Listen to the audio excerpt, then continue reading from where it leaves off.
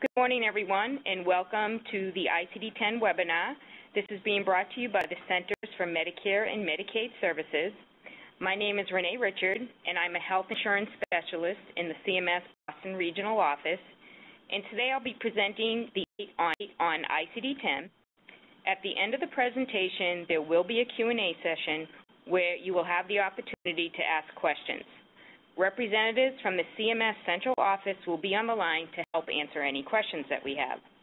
After the Q&A session, you'll also have an opportunity to download the slides from today's webinar. So we will get started. We'll begin on slide one. We would like to provide you with an overview of the ICD-10 impact and progress made to date and discuss resources that are available to assist you as you prepare for ICD-10. First, I will talk about some of the um, ICD-10 basics. What is ICD-10? Why and matters? And what are the opportunities of compliance with ICD-10 and the risks of noncompliance? ICD-10 replaces the ICD-9 code sets and includes updated medical terminology and classification of diseases. ICD-10 refers to the diagnosis and procedure code sets and consists of two parts, the CM and the PCS. ICD-10-CM is, is for use in all U.S. healthcare settings. The ICD-10 procedure code sets is for use in U.S. inpatient hospital settings only. All organizations covered by HIPAA must use ICD-10 to code healthcare services provided on October 1st, 2014. The compliance date is firm, and we are moving ahead to prepare for the transition.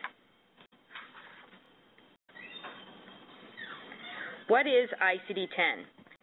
The World Health Organization originally developed the ICD-9 code set.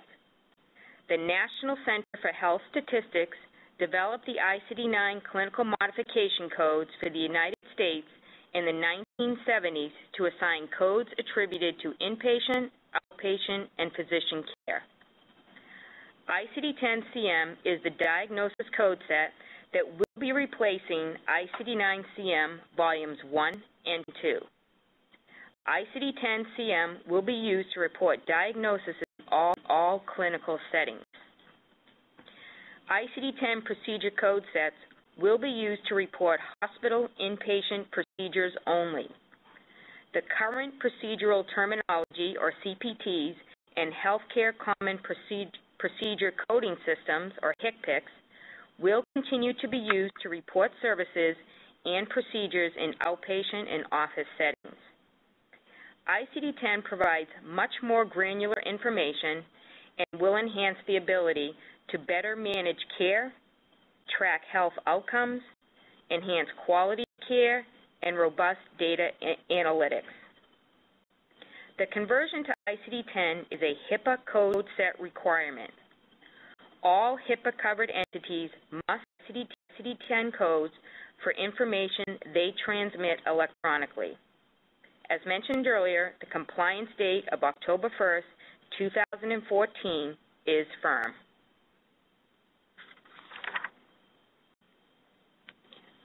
Why ICD-10 matters. ICD-10 is essential to healthcare reform, and it is part of the overall goal to achieve better care, better health at lower costs.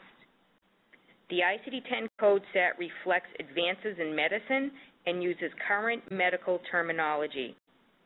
The code format is expanded, which means that it has the ability to include greater detail within the code. The greater detail means that the code can provide more specific information about the diagnosis. The ICD-10 code set is also more flexible for expansion and includes new technologies and diagnoses. The ICD-9 code set is over 30 and, and, and has become outdated. It is no longer considered usable for today's treatment, reporting, and payment processes. It does not reflect advances in medical technology and knowledge. ICD-10 is more effective at capturing public health diseases due to its greater specificity. Federal, state, and local officials, officials excuse me, including researchers, will use ICD-10 diagnosis codes for public health research, reporting, and surveillance. I'm now on a slide that's entitled ICD-10 Compliance, and what we have is two message boxes giving you information regarding the opportunities for compliance and the risks of noncompliance.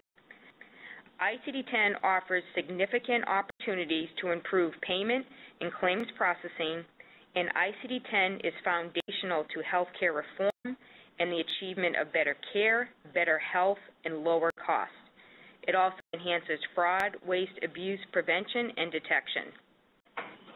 The risks of noncompliance with ICD-10 include incorrect or slow claims payment, penalties, and disruption in analytics and research. And we actually, as I say, will provide a little more detail regarding that information on the slide. Next, I want to provide you with an industry update on progress toward ICD-10 implementation and focus on approaches that can assist you in successfully running ICD-10. The next slide is entitled CMS ICD-10 Implementation Today. Medicare and state Medicaid agencies are on track for the October 1st 2014 ICD-10 implementation date. Medicare programs are approximately 68% complete, and the system updates are approximately 75% complete. CMS is conducting quarterly assessments with the state Medicaid agencies to track their progress toward ICD-10 implementation. Large practices, clearinghouses, and many payers are on track for ICD-10. The, the, the small physician practices need additional technical assistance. CMS is also working with the small physician practices to offer education and technical support to help them prepare for the ICD-10 implementation. CMS is engaging in conversations with vendors and discussing next steps on how vendors can work together with their customers to get ready for ICD-10. And on this slide, we give an update regarding Medicare implementation, state Medicaid agencies, providers, as well as vendors. Our next slide is entitled CMS ICD-10 Project Management Office Approach. On this slide, CMS has a comprehensive implementation based on an impact analysis, solution concept, implementation and monitoring plans, and project schedules. The ICD-10 implementation is guided by an e-health steering committee made up of CMS executives, policy, technical, and system staff. 19 key project areas were identified with 52 projects supporting the larger project areas in monitoring of systems. There is also a biweekly governance board and a weekly monitoring and planning meeting. The next slide is regarding CMS ICD-10 reporting structure. Project input is obtained every two weeks, and the project dates are, up, are updated to incorporate this new input to track and communicate risk to the Project Management Office. The Project Management Office takes that information and updates the master schedule and creates program dashboards that are used to inform the steering committee about the ICD-10 implementation project's progress. And this slide um, highlights that process that we are using internally at CMS. Next, I would like to review with you the impact that ICD-10 has on the provider community as well as the healthcare industry as a whole. I also will review some practical step-by-step -step actions that providers can take to prepare for ICD-10. Our next slide is entitled ICD-10 Impact Across the Industry, and shown on this screen is a focus and a diagram of how each area in a practice or hospital will be affected. The ICD-10 impact affects many areas and organizations across healthcare and financial sectors. For instance, with payers, ICD-10 impacts health plans because the claims may alter coverage and reimbursement. ICD-10 expands the number of available codes, requiring organizations to evaluate codes and determine what the organization will pay for certain benefits. Codes are used to determine whether services are covered, accumulation, and trigger business rules within the payer systems. Sometimes payers are subject to claim process reviews. Payers are responsible for notifying external parties of when and how the payer is converting from ICD-9 to ICD-10. Let's talk a bit about how this affects healthcare payers and clearinghouses. The shift to ICD-10 will also require software modifications in both the insurance coverage and billing sections of practice management systems. Billing services and clearinghouse vendors will also have to comply with the new system. Providers. Providers use ICD-10 codes to code, submit, and process claims accurately at clearinghouses. Patient, member, beneficiary. Co-payments are tied to codes that determine the nature of the service. Payment, members, and beneficiaries. Co-payments are tied to codes that determine the nature of the service.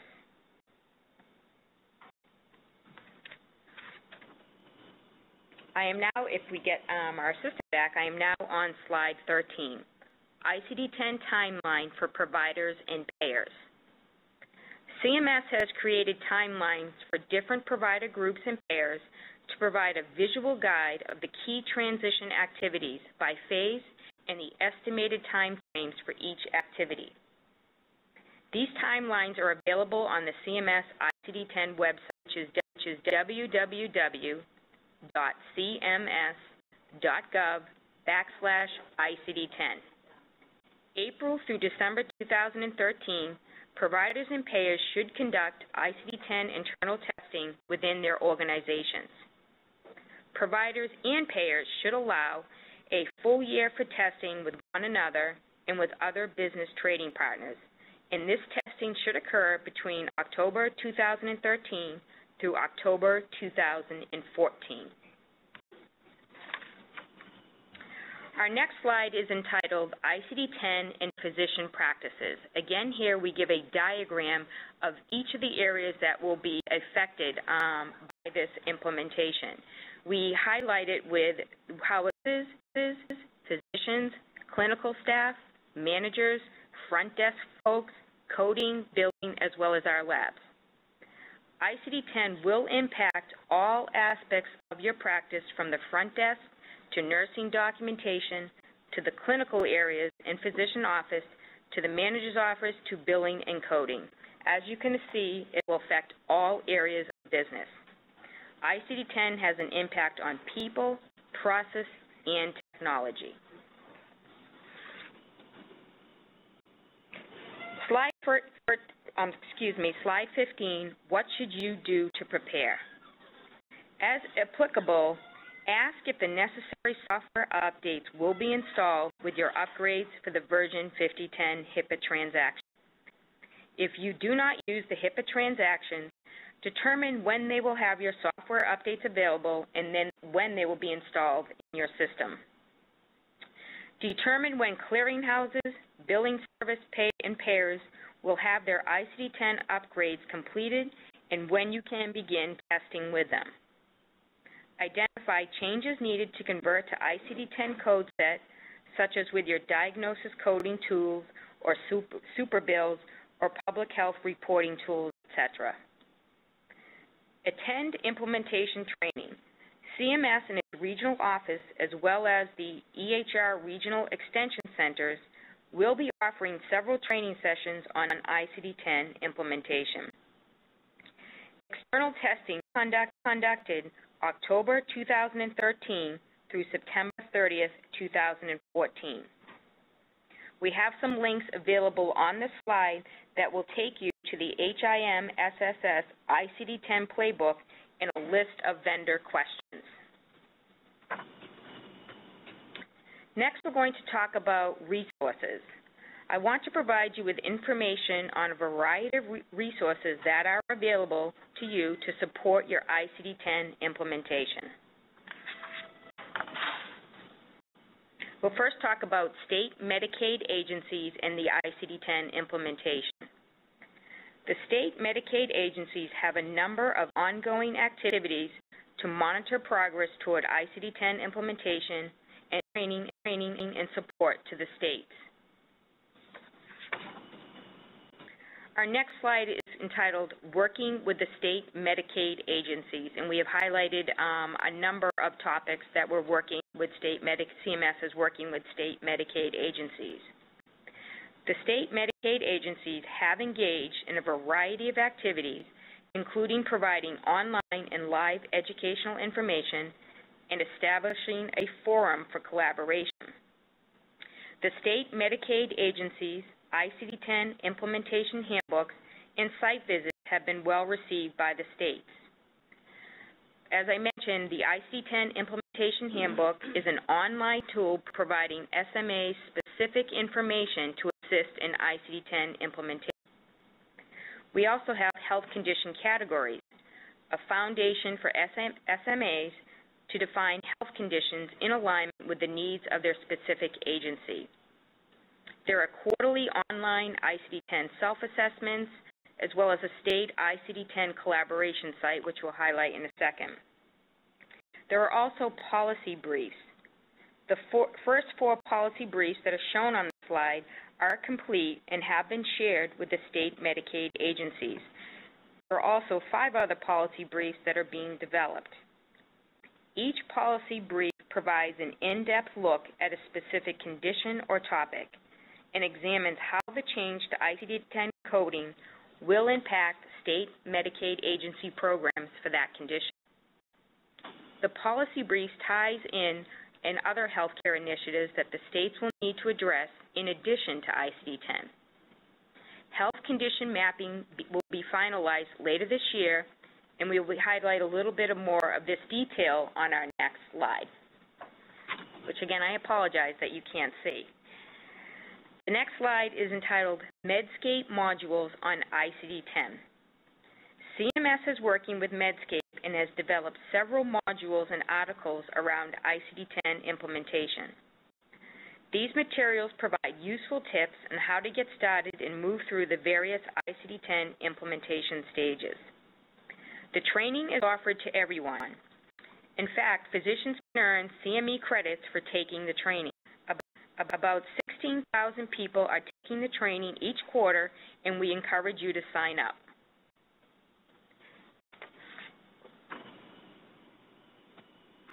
The next slide is entitled CMS ICD-10 website, and we have a picture of that screen, and we have highlighted the on the left-hand side the different um, pieces of information that you can easily access by clicking on the link. This website is dedicated to ICD-10. The address is www.cms.gov slash ICD-10. This is the central location of all CMS materials concerning ICD-10. The links on the left side of the screen are broken into different categories of information, such as provider, payers, and vendors, to name a few. You can also sign up to receive ICD-10 email updates as well as alerts when new information is posted on the latest news page. In a difference, there is information on the general equivalency mappings, and the ICD-9 Coordination and Maintenance Committee can be found here. Over 108,000 people have signed up for the email update, so we encourage you to please use this resource that is available. Also available on our CMS ICD-10 website are implementation guides. CMS has developed implementation guides that are tailored to the various audiences, including small and large providers, small and payers. The implementation guides include planning, communication, assessment, implementation, testing, and transition recommendations. We are also developing an online ICD-10 implementation guide. The online implementation guides will provide stakeholders with a quick, easy way to access the implementation materials. Stakeholders can click through the information to find the most relevant information. The online implementation guide table of contents will highlight the key ICD-10 implementation steps and activities, including planning, community awareness, awareness, assessment, implementation, testing, and transition. The next couple of slides, we talk about the ICD-10 resources, and we provide links to each piece of those, um, each resource that we have listed. There is a wealth of ICD-10 resources available to the public, and new information is being updated and added on a regular basis. The CMS ICD-10 website contains materials to help industry with implementation, as well as ICD-9 to ICD-10 mapping information. Other resources include materials that are shared in various formats, including national provider calls, information on net terminations, and the education information generated from the Medicare Learning Network. Our next slide is entitled Health Condition Categories. The top 30 health conditions that are key to state Medicaid agency business and analysts are identified on this slide. State Medicaid agencies, through a multidisciplinary team, defined each health condition so that there was clarity on the intent of what is or is not to be included in the category. ICD-9 codes and ICD-10 codes were mapped to each category based on this definition. CMS is also reaching out to industry groups to share and request a review of the health conditions. After validation, all category definitions and mappings will be made available on the state Medicaid agency's ICD-10 collaboration site. The next slide speaks about the state Medicaid agency's ICD-10 collaboration site. The state Medicaid agency ICD-10 collaboration site provides the states with a single reference point where relevant information is available and where they can share information with their counterparts.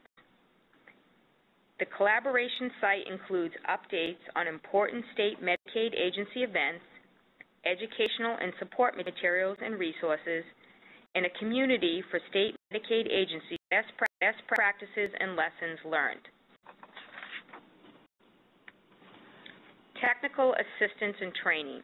On this um, web, on this slide, we have a CMS IC10 technical assistance to states. So it's a map of the U.S. with a key code and highlights.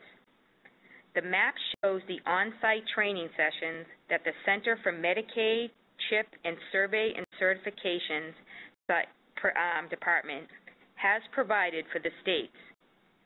CMS has visited 36 states to provide technical assistance and has conducted 11 policy remediation workshops. The Center for Medicaid, CHIP, and Survey and Certification has two additional training sessions that are scheduled for the future.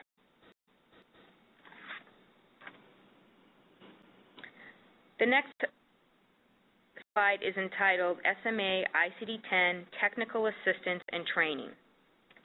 CMS has conducted regional office workshop visits as well as 36 state site visits and 11 policy remediation site visits. The state Medicaid agency's training modules include ICD-10 overview, code structure and definition, information on GEMS in translation and dual processing, claims management, managed care, analytics and reporting, program integrity, and provider communication. The state Medicaid agency site also has training content. On the slide, we show our two of the 250 slides that make up the ICD-10 state Medicaid agency site visit training content. In the two examples that we provide in the presentation, one concentrates on the key business reasons why state Medicaid agencies need to focus and prepare for ICD-10, and the other highlights the related impact ICD-10 will have on the state Medicaid agency core business functions. And again, both of those slides are presented on the slide in the presentation. The ICD-10 state Medicaid agency also has an implementation handbook. The ICD-10 state Medicaid agency's implementation handbook is, is strictly developed for state Medicaid agencies and provides core background information on the rationale of moving from ICD-9 to ICD-10. The key milestone activities related to ICD-10 implementation phases and the activities that must be completed in order to be compliant with ICD-10 by October 1st, 2014. Our next slide is entitled Nine Policy Briefs Show How ICD-10 Supports Healthcare Transformation. The first four policy briefs listed here are complete and have been shared with the state Medicaid agencies, and there is a picture of each of those policies. The other five are being, are being developed. Each policy brief provides an in-depth look at a specific condition or topic, and it examines how the change to ICD-10 coding will impact state Medicaid agency programs for that condition. The policy brief ties in other healthcare initiatives that the states will need to address in addition to ICD-10.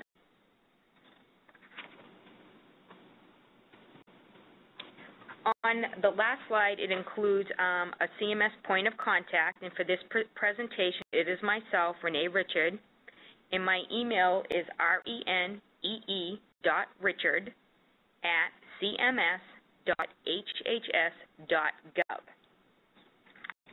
Also, um, before start, start with questions. The last slide of the pr presentation provides an ICD-10 questions mailbox. And providers and those on the call should feel free to use this if we are not able to get to your question today or perhaps you think of a question in the future. And that email link is ICD-10 questions at noblis, N-O-B-L-I-S dot org. Again, that is ICD-10 questions at noblis, N-O-B-L-I-S dot org. That concludes the presentation portion of the webinar. Your first question comes from the line of Barbara Horgan with Dr. Peter Von Korz's office. Your line is now open. Hi, thank you, Renee. Um, I would like to know, is this course going to be given again, and how do we get the uh, the different uh, slides slides that we were not able to see? Um, I, I think I would have gotten more out of this if I was able to see the slide. Hi, I, I absolutely agree, and I apologize. There is a file share box. Can, um, are you able to see that? where you can download the presentation? I see it, and I have hit save to my computer, and nothing happens. Okay. Um, what you can do if you want, um, let me give you my email address again. You can contact me, and I can send you the presentation. We do have um, two other webinars that we're giving today. Um, they may be full, but um, I will definitely take um, this into consideration and talk to the other folks about perhaps presenting it again since we did have te technical difficulties. Okay. And so your my email? E my email is Renee, R-E-N-E-E, dot Richard, R-I-C-H-A-R-D, at cms dot hhs dot gov. Okay. Hello, this is also uh, Denicia Green uh, with CMS, and one of the things we can think about doing is posting um, the PowerPoint presentation to our website as well, if that will be helpful. Sounds good. Thank you. Thank you. Your next question comes from the line of Eleanor Miller with the Center for Orthopedics. Now open, now open. Oh, no, I was going to ask for that as well as the last person since I couldn't download it either. But okay, if it's going to be up on the website, that'll be fine. Okay, and just to, um, in addition to that, today's webinar will be recorded, and both the audio portion and slides will be made available. Mm-hmm. I think it's, I'm not sure exactly sure of the date, but um, please be looking for that as well on the ICD-10 website. Okay.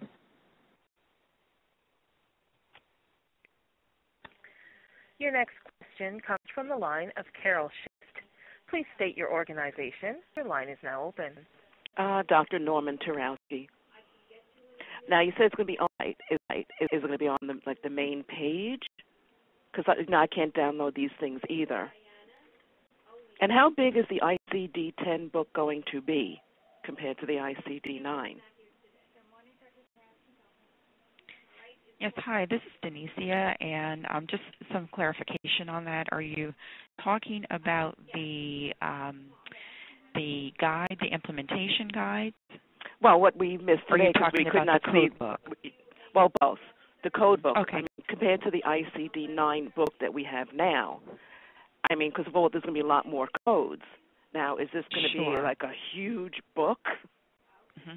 So what we were talking about in the presentation, and apologies that there were some tech technical difficulties, um, is we book book um, that helps to um, helps providers, um, hospitals, and, and, others to navigate ICD-10 implementation. Mm-hmm. And so it's an A through Z guide on sort of the how-to, um, how to get started, um, how to um, sort of catch up if you're behind, what are the major steps and milestones that you need to, t- to take and achieve um, as you move towards compliance. Right. Um, and so what we'll do, um, we will work on getting these slides up for you all so that you all can have access to it. And I would imagine that you would have additional questions after having an opportunity to review it. Um, in, in, addition to what she mentioned, um, the audio will be um, also included with the slides so that you can through and through and uh, get a sense of uh, the presentation today. Now, has the ICD-10 book been published yet? Yes, there there is an ICD-10 book. Okay. Mm-hmm. Compared to the ICD-9, I mean, is it like twice the size because there's so many more codes? It is more codes. Um, it is a, a, book that you would need to purchase. Um, CMS does not um, develop that that book, but okay. but we we absolutely have the guidebook um, available available for everyone. It's an online tool. We're also finding that many providers um, are wanting to have something more useful and sort of hands-on. Um, our guides right now range uh, for, from about 60, and so it's it's a very helpful guide for getting you there. And you may just want to pull pieces out of it, um, depending on which step of implementation that you're in. Um, so what we're what we're doing right now is pulling key pieces of that document and creating some checklists and fact sheets. Great. Um, so it would be a helpful aid that you have right there at your your desk or location to kind of help you walk through and talk to others uh, at your office. Thank you very much. Thank you. And if it would be helpful for us to share some of those sort of key links, um, I know that many of them are in the presentation, but uh, we can certainly share them uh, while we're putting that up on the website. Your next question comes from the line of Elia Ann with, with the Suffolk Anesthesiology Associates. Your line is now open. Hi, thank you. Um, I might have missed uh, the link. I did. I was able to download the presentation, so I did follow along. But uh, I'm looking for the web address for the um, state Medicaid agency's ICD-10 collaboration site. Was that in one of your slides? Uh, well, we, we shared the information about the state collaboration site. Um, we, we did not share the, the uh, link, link itself because it is um, specific to Medicaid agencies. Right. Okay, that's and what we I, do, thought. Yes, and we do have a form for them, and the intent there is to get some best practices and lessons learned being shared across state Medicaid agencies. Mhm. Um, and so it is definite forum from, for them, but what we're doing is we're looking at what are some of the key things that they're finding, what are some of the lessons learned, and we're pulling that information out and planning to share that more broadly. Oh, Um, you will in the future. Yes, absolutely. Okay. Okay. Yeah, we're then- looking for those key themes that we can share across Okay, the industry. that's that's great. And the technical assistance and training map. I notice uh, we're in New York. Um, I Yes. notice there is no training, no technical assistance sites available. Is that going to change? As a matter of fact, we've reached out um, to New York um, a couple of times to get Mhm. trainings scheduled, um, and are very much interested in doing that. Um, so that's for the state Medicaid agency itself, right. but we're also offering some additional assistance assistance training, which is more focused around the, pro- the provider, um, the And how, uh, how will the provider be made aware of these sites? Because this is the first I'm hearing of this. sure, sure. sites. So what we're doing is we're working with um, stakeholder organizations um, to to work with them to share that with their membership. Um, if there's um, interest in something like that, we can certainly par- partner you up and pair you uh, with a group that will be giving that free training and technical assistance too. Okay. So if you're interested in that, please send that information into our um, ICD-10 um, uh, questions mailbox, and The we question- can certainly follow up with okay. you. Yes, Very good. Okay. Thank you so much. thank you. Quest, quest, question comes from the line of Terry Kelly with Ocean Medical Center. Your line is now open. Hi, thanks for taking my call. Um, I did. I was able to download the presentation before you started having issues. I'm just not seeing the slide numbers anywhere on the presentation. Am I just missing them? You were when you were mentioning, you know, refer to slide so and so. I really couldn't follow because I'm not seeing the numbers on here. Hello? Hi, um, this is Renee. I apologize for that. I realize um, that is the case. I guess I saw them because I, when I typically, when I have a presentation, I printed it out as um, view the notes. Okay. So the numbers were in there, but we'll definitely um, update the presentation to include the side, the slide numbers, and we apologize. And then my other question is, you had mentioned that physicians can earn CME credits for taking the training.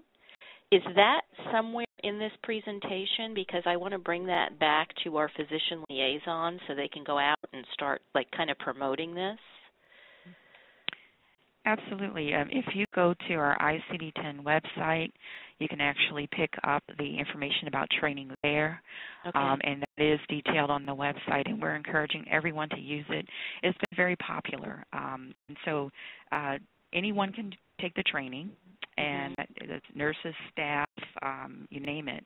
Mhm. But only physicians will earn the CMEs, and we're also looking into exploring um, offering CNA credits as well down the line. Is there going to be um, um, notification go- going out to providers that participate with Medicare that this is available to them, or you, are you relying on us as the hospital to to let them know that? Well, you know, th- this is really an implementation um, where we're going to all have to come together. So, Mhm. absolutely, share that information with your providers. Um, we are and have been sharing that broadly. Um, Mhm. Right now, we have about 16,000 people taking the training each quarter. We'd like to increase that number. So, absolutely, please share that information. It would be wonderful. And it is on www.cms.gov slash ICD-10, and then there's a there's something for training that I click on. Uh, yeah, so you would go under provider resources. Okay. Okay. and it's it's it's right in there. Um, there, as a matter of fact, there's a great number of fact sheets, resources, and that's the one thing about our website that I do like is that you can identify, you know, if I'm a payer, if I'm a provider, where do I Mhm. go? And it's a section, and it gives you everything you need um, if you're a provider, everything if you're a payer. Very good. Thank you so much. Thank you. Okay.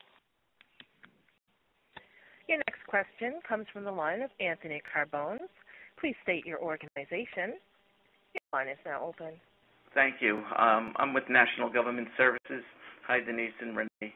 I understand your uh, issues with the uh, presentation. I do presentations as well, and it does happen.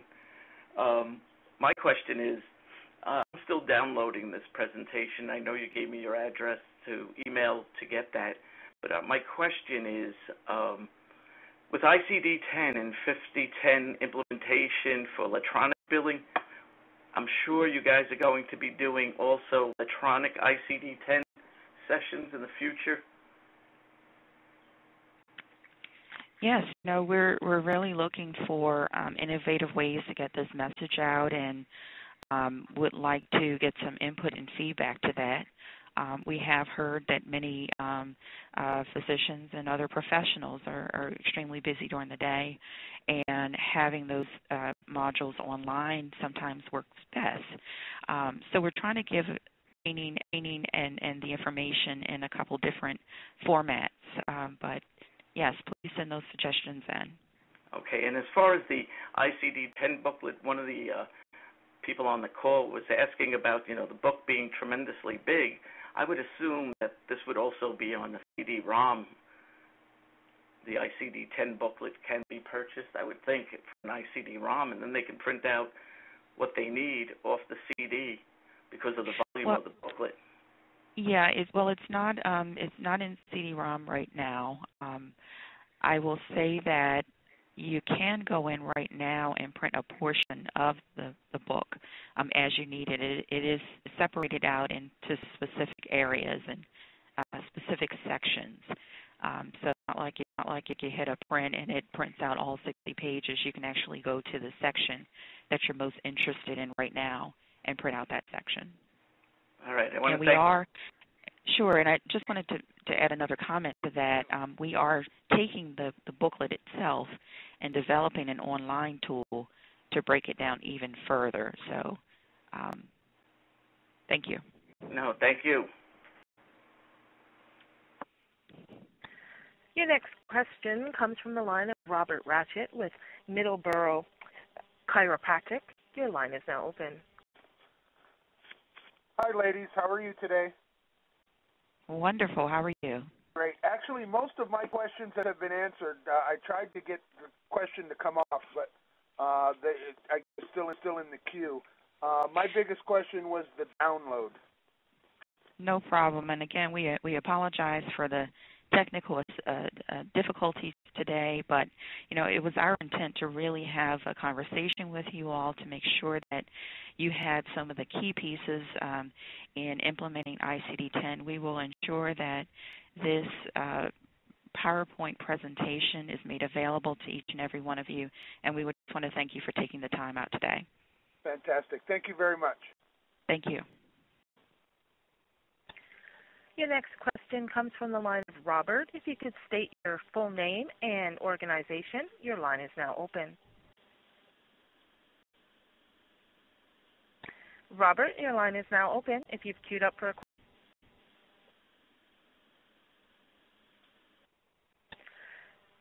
Your next question comes from the line of Holly Bracco with the Jewish Physician Group. Your line is now open. Yeah, hi. Uh, we were just wondering um, if you know how this will impact uh, work comp and, say, auto claims. Sure. Um, so those organizations are not considered covered entities, um, and so um, uh, the ICD-10 uh, requirement is for covered entities, and so um, we've been talking a lot with um, other payers and plans, and it really is a business decision as to how each plan or payer would like to redeem from, from those organizations. Uh, for Medicare um, or for CMS, we're requiring it to be an ICD-10 format, um, depending you know date of service, date of discharge. Um, but you know, it, it, it is a question of um, how plans are planning to uh, take that information in. Uh, we have had some preliminary calls with some plans, and um, many are, are doing the same thing, requiring a 10. But please check in with your uh, uh, care and health plans. Okay, so it so it's it's up to the physician practice then to just kind of reach out to the payers in their region to determine yes. what they're going to be accepting. Yes. Okay, so this I guess I you know with ICD-10 being such a big deal, and I know that this is something CMS is doing, but I guess I had the impression that this was something that was required so you're saying that payers have an option. So Anthem could say, well, we don't want to do ICD-10, so we're going to stick with ICD-9. Is that what you're oh, saying? No. So let me clarify that. So for um, there are a couple of entities, and very limited, that are non-covered entities. Okay. Um, ICD-10 affects payers, providers, clearinghouses, um, you name it and so it's ICD-10 moving forward. However, there are small, limited amount of groups um, and types of claims like workers' compensation, auto, auto, property and casualty, and some other types of um, unique cases that are not covered entities. And so those organizations um, don't have to provide an ICD-10 claim. However, um, we are hearing from many providers and payers, many payers, that um, because of their business rules, they will require that as part of reimbursement. So it is a question of if you're if you fall into that very limited, very unique case, then you would need to check in with your payer to see how they plan to process that payment. For for CMS, and um, we are requiring an ICD-10 code to come through, and that and that would be based on the date of service or date of discharge. Okay, uh, and I understand that. I guess I guess I was a little confused when you said that there are payers that could determine if they were going to accept it or not. So you're just saying that there are certain cl- limited classes such as work comp, auto, and maybe yes. small payers. I don't know really know what you mean by that, but is there is there there's not really a list of any classifications per se that we can look up somewhere as a reference of, you know, these aren't necessarily required to comply with ICD-10 because it's kind of it's kind auto of claims, it's it's workers comp claims, those sorts of things. But okay. you know, it sounds like um, this may be um, uh, topic for maybe some additional clarification around that. Well, because um, it makes a big difference, you know, from an operational perspective. And if you take orthopedics, for example, you know, you've got a physician in the practice that sees a lot of work comp, likely, and then they probably see a lot of Medicare too, or, or non-work comp cases. So it's kind of like, from an operational sense, there's got to be a workflow put into place for, okay, now I'm in ICD-9 mode and now I'm in ICD-10 mode, it can be very confusing. So I, well, yeah, let me, yeah. Sure. Let me let me add a little to that, um, if this will be helpful. Um, so ICD-9 versus ICD-10, um, Medicare has issued uh, uh, guidelines on uh, payment um, and, and how those things should be billed. Um, and so you'll see that on our, our, CMS website, and we can certainly share some additional information around that. I know much information has gone out um, over the last few weeks to ensure that um, it's the message is really getting out across the industry. Um, but whether you use an ICD-9 or ICD-10 is still based on the date of service or date of discharge. Um, so um, in this case, if the group is supposed to be using a 9, and that would be a 9 code, and that would be prior anything prior to October 1st, um, 2014, then that's fine, and that applies to Okay. Um, if it's if it's a claim that is um, if it's a, a, date of service that is after October 1, 2014, then it should be an ICD-10 code. In the unique case here, you have a non-covered entity or non-covered um, claim, and so, for example, you have an auto workers; they are not required to use ICD-10 in that case. However, in order to get paid for that claim, the payer may require them to submit it in that format. And that can be the case. And so, absolutely, they should check in with their um, payers or health plans to see how they're going to process that individual claim. Um, for Medicare, I think we've been clear as to how we would process those, um, and it would, again would be based on that date of service or date of discharge. Um, and if it's before October 1, 2014, it's going to be a 9. And if it's afterwards, it's going to be on or after, it's going to be an ICD 10 code. Okay. Okay, great. Thank you. Sure. Does that does that help to clarify somewhat? And yeah, is there I a mean, need for any additional? But it was just the whole, you know, the ones that I guess aren't following ICD-10, and so we'll have to just kind of drill down and get sure those individual work comp carriers, I guess, and figure out what we need to do. So thank yes. you very much. Sure. Thank you. Your next question comes from the line of Christy Stillion with Westfield Fire Department. Your line is now open. Good morning. Um, I have I do have a question, but I also have a comment for the people who are having issues saving um, the presentation to the computer. I did at first in that file share box. I don't know if anyone has tried. You have to select on the um, document stating Eastern Event RO ICD-10 presentation, then hit save to your computer. Once I did that, there was no problem. It did take a very long time to download, though. However, it took a good five ten minutes to get it to work. Okay. Um, my you question.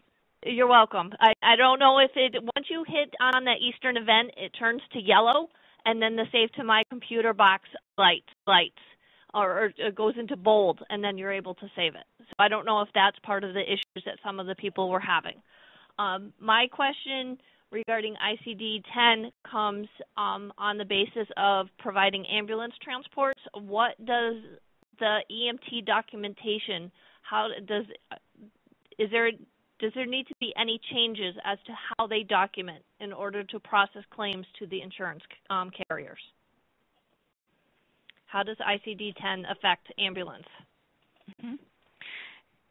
Well, the, the, the, the, general answer to that is, um, and, and I guess this would go across the board, is your documentation should uh, be able to support the ICD-10 codes uh, with the, the, greater specificity in the code, um, there will be a need to um, ensure that your documentation is reflective of that. So they have to be specific, as in if we pick someone up for leg pain, it needs to be um, left leg versus right leg. And um, going through past Medicare um, webinars and conferences, they also talk about first event, second event, past you know past history. Our EMTs have to document all that. Well, any claim that's coming through would, would of course require the um, documentation um, that would would be needed to support that your diagnosis code. Uh, um, for ICD-9, you're you're doing that now. Um, you're supporting your code and so um, your diagnosis code, and that would be the same for ICD-10, that you okay. would need the documentation available to support your diagnosis for ICD-10 as well. Okay, because I know like there's general, you know, there is leg pain in ICD-9, but of my understanding in the ICD-10, um, they're more specific as to what leg and upper leg, lower leg. It's like very specific on the ICD-10 CMS website, is there any area specifically that I can go for help regarding with ambulance that I can bring to the EMTs? We'll certainly take a look and see if we have anything to address you. What I'll ask you to do is send in your question to the ICD-10 questions mailbox, and we'll follow up with you um, offline. Okay. Thank you. All right. Thank you. Hi, um, this is Renee again. Um, it seems we've come to the end of our presentation. Would like to thank you all for participating in the ICD-10 webinar today. Um, hopefully everybody can access the presentation slides that are available in the file share. If not, as we said, we will be posting them on our website as well as um, providing a recording and audio of this presentation. So again, we'd like to thank everyone and have a great day.